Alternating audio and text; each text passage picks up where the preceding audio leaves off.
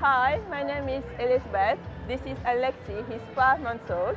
And it'd be great to go to California so he can see the, well, so he can meet Schwarzenegger and all the stars and become a star himself. Yeah! Oh, that's the best one.